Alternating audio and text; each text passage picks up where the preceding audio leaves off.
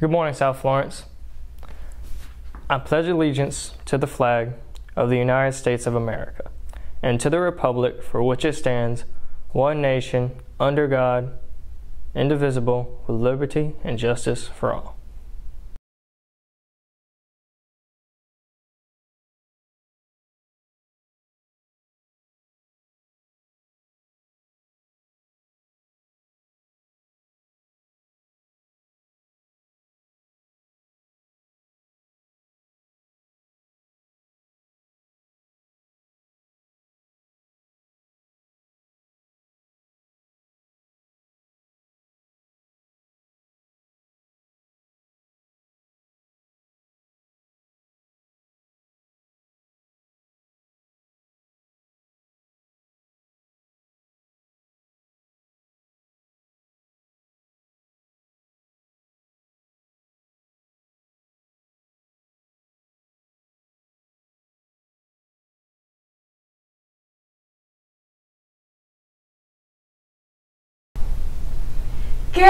Good morning, South Florence. I'm Miranda Severance.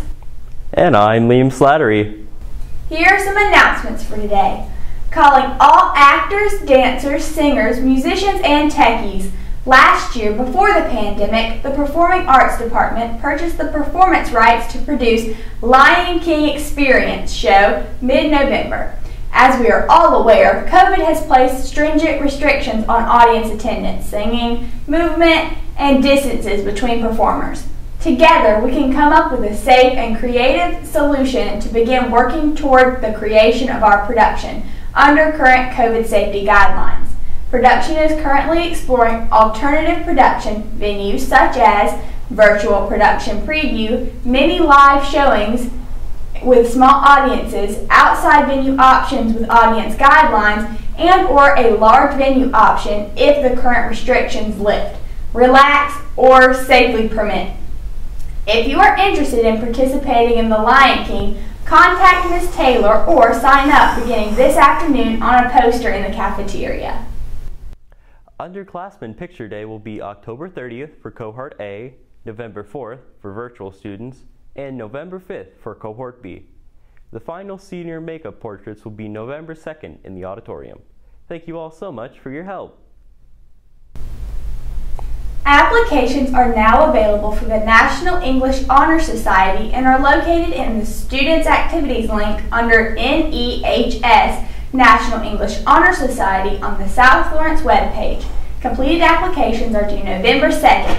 Please see Ms. Franco, Ms. Finkley, or Ms. Helton if you have any questions. College application is today and tomorrow. Be sure to get your applications in. Bruins for Christ will have the first meeting of this year this coming Tuesday in the newsroom at 7:45 a.m. Ms. Taylor will be waiting to security and temp check you at the gym entrance from 7:35 to 7:45. For any virtual student or any student on a personal learning day, message Ms. Taylor for the Zoom meeting code so you can join in. Thank you and have a great day, South Florence.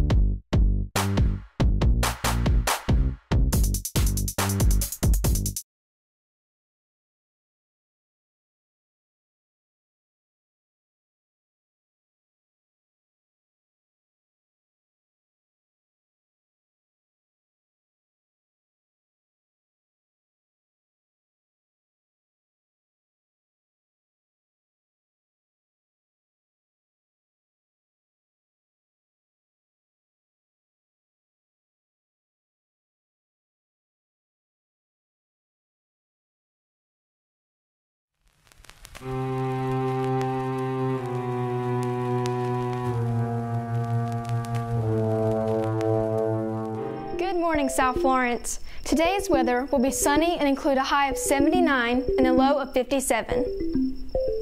Tomorrow's weather will also be sunny with a high of 71 and a low of 48. Thank you and have a great day, South Florence.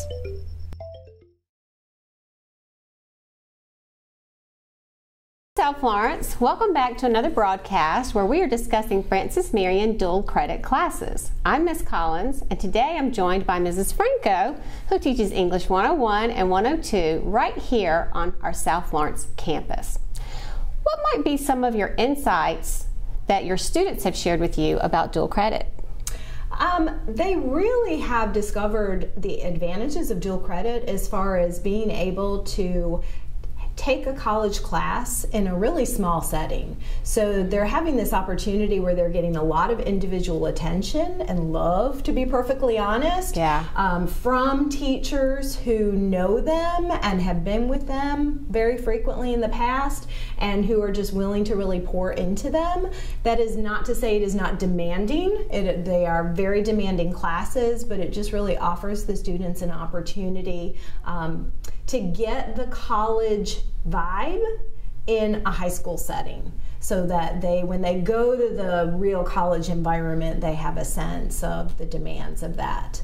Um, a lot of the kids have related to me that they have learned that they need self-discipline that dual credit oh. teachers are not sitting here oh remember you have a quiz tomorrow. Oh remember you have this. Oh oh oh. The dual credit instructors are you have a syllabus. You need to be responsible. You need to be working on your own. You need to be reading outside of class. You need to be doing all of these things. If you have questions, I'm available, but you need to advocate for yourself and come and ask questions. So they're they're really um, realizing there's a big difference between what they are expected to do in a high school level class, which I think our rigor is phenomenal here at South Florence, and I think we we do hold our kids to a high standard. But I think the college level, where you're only with these kids two days a week, is just a big step up. So, what might be some steps we could take to clarify the FMU dual credit process for students?